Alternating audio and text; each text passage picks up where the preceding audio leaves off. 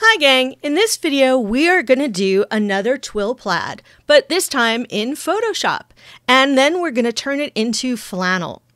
Before we get started, I'd really appreciate a thumbs up, it helps support my channel. Alright, let's get started.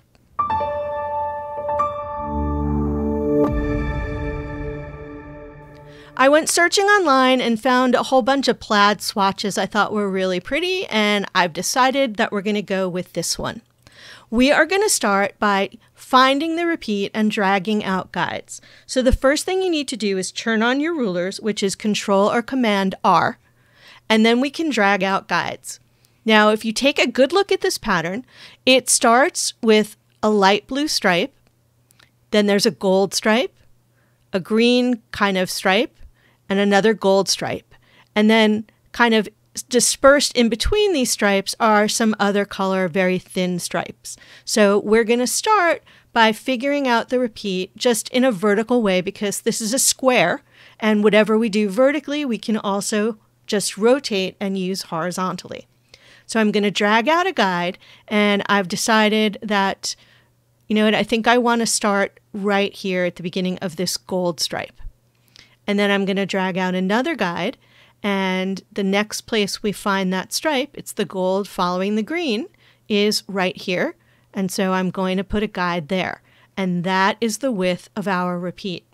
I'm not going to worry about the height right now because we're going to crop this and I'm going to set my crop to a one by one square. So it's automatically going to give us a square selection. We will go up to view and we want to make sure that we have snap to set to guides, which we do. So let's go ahead and crop this, let it snap right to my guide. We'll grab this side and let it snap right to my guide. And then the height is going to be a square since we set it as a perfect square. We'll click OK, and this is the repeat that we're going to work with. Let's go ahead and select it. We're going to copy it. Let's make sure I'm in the right layer. Yes, we're going to copy it, Control or Command C. We're going to open a new file it's going to open to the size that we just copied. So click Create and then paste, Control or Command V. And we are going to work from this. So let's go ahead now and create our stripes. I like to do all the small stripes on one layer and the wider stripes on a different layer and then merge them together when I'm done. So I'm going to make a new layer and we're going to start with the small stripes. We've got it looks like uh, kind of a dark green stripe over here, white, and then these pink ones. And the place we're going to pick our colors from is where the two stripes of the same color intersect. That's how we're going to find our colors. Now, when we go up to the color picker, which is the eyedropper tool here, by default, it is set to one point sample. And one point sample is not necessarily going to give you the right color. We need a nice blend of all the different shades that are mixed in here. So we're going to change our point sample to something larger, like maybe a 5 by 5 Let's go ahead and draw these. I'm going to start with my pink one here. We'll draw one pink stripe, and you'll notice I'm using the rectangle marquee, not the rectangle tool down here on the bottom. I'll use my eyedropper tool, shortcut I, select this pink color, and Alt Backspace or Option Delete will fill it. Go back to your Move tool, which is the letter V on your keyboard. If you hold the Alt or Option key, it will allow you to drag a copy and move it into place. Make sure you hold your Shift key while you do it so it stays in line. We don't want anything coming short of our space because then we won't have a seamless repeat, right? All stripes need to go to the edge of our page. Let's go ahead and do the white ones. The white ones are thinner. If you hold the space bar, you can adjust the placement of your selection. So I'm going to use the eyedropper again to select from a white area and Alt Backspace. And now I'm going to go ahead grab my move tool, hold my alt or option key, and we're going to drag a second one out. We're going to hold the alt or option key. Let's select our two white stripes. And we're going to hold the alt or option key down again. Whoop, helps if you're in the move tool. Hold down the alt or option key. And we are going to again drag and move this into place right over here. And lastly, we have these dark green stripes. So we are going to draw those. I, for the eyedropper tool, we're going to click this color and Alt Backspace or Option Delete to fill it. Back to the Move tool, hold the Alt or Option key and the Shift key, and we're going to drag one into place here. And that takes care of all of our vertical thin stripes. We're going to make a new layer underneath the layer that we just did, and we can go ahead and do our bigger stripes.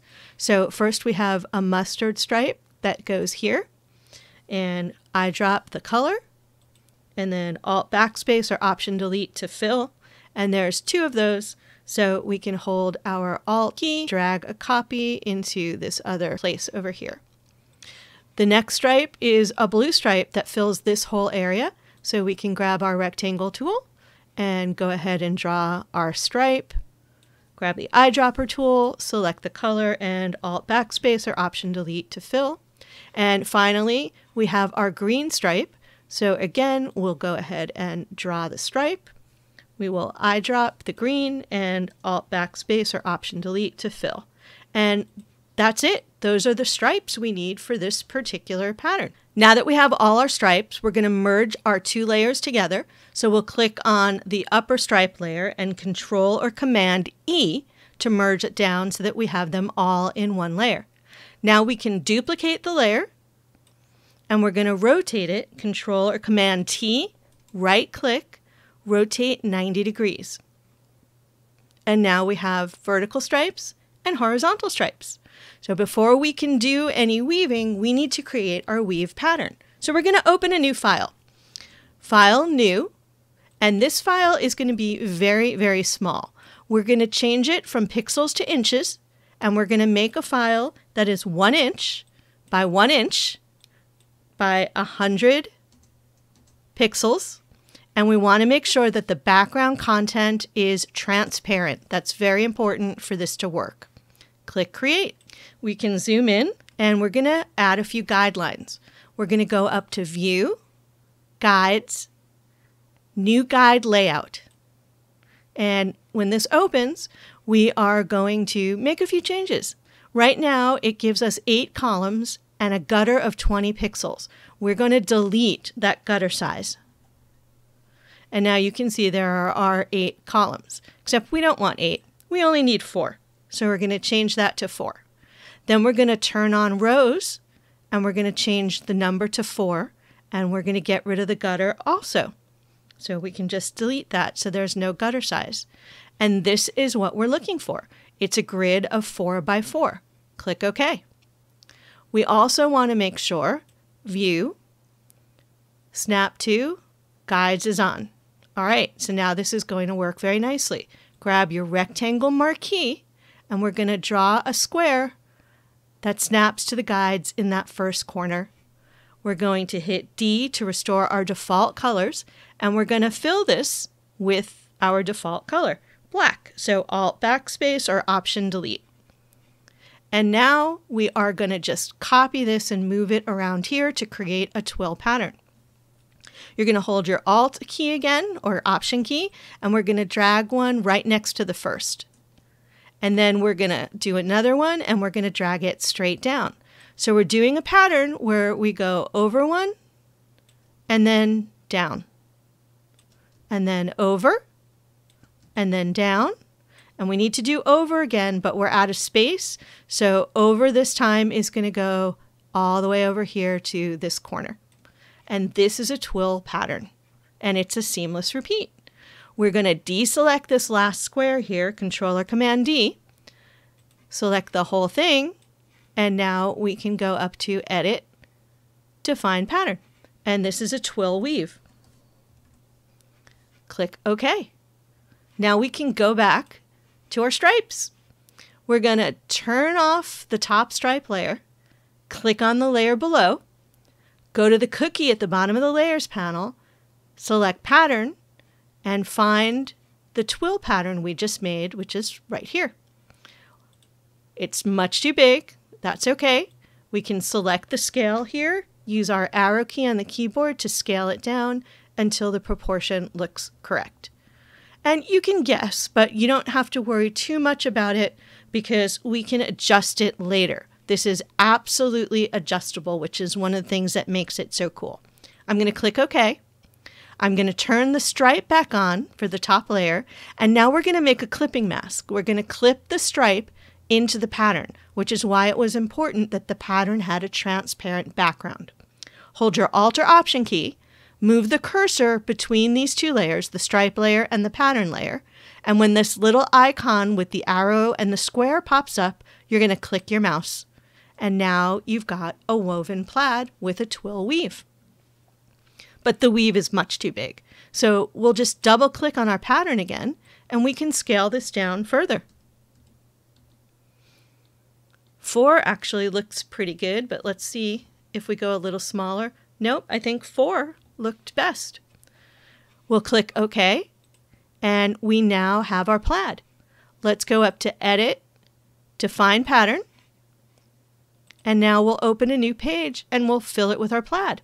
File, New, I'll just open, um, we'll go to print and I'll open a letter size page. Click create. And now we're going to go to the cookie at the bottom of the layers panel, click on pattern, and we will drop down and fill with the pattern we just created. The cool thing about filling in this window is that we can scale. So let's go ahead and make our pattern a little bit bigger. And there is our plaid.